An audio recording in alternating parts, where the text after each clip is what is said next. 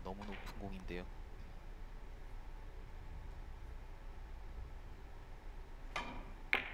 어 키스가 어, 어? 어? 와! 와! 위원님 이거 이렇게 갈 수도 있다라는 생각이 잠깐이라도 있었나요? 아 오늘 배웠습니다. 그렇군요. 네.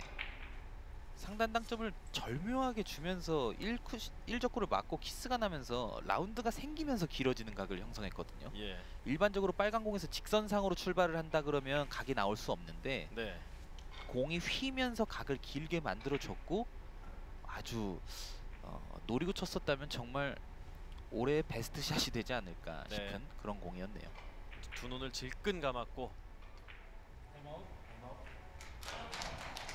히가시우치 선수의 타임아웃.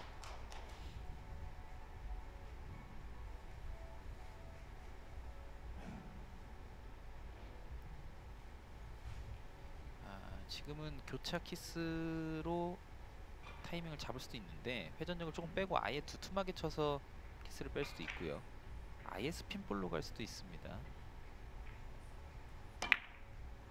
그렇죠. 이렇게 교차 키스로도 타이밍이 나왔죠.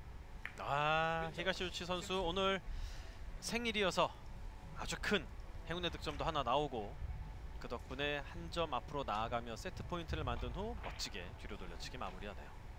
어쨌든 초반부터 기세를 굉장히 잘 잡고 있었고 그렇죠. 연이은 3득점으로 6점을 먼저 만들어 놓은 게 이번 1세트에 큰 승부를 가져올 수 있는 영향이 되지 않았나 싶습니다.